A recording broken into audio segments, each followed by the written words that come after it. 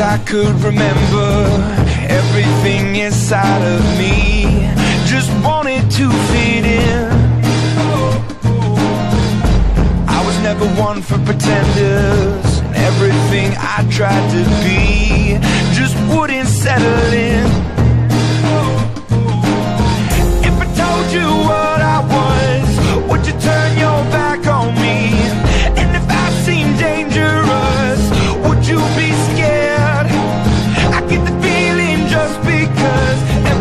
touch isn't dark enough. That this problem lies in me. I'm only a man with a candle got me. I'm taking a stand to escape what's inside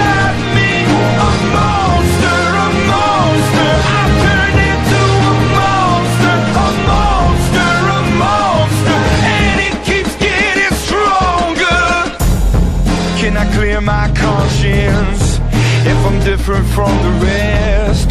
Do I have to run and hide? I never said that I want this. This burden came to me And it's made its home inside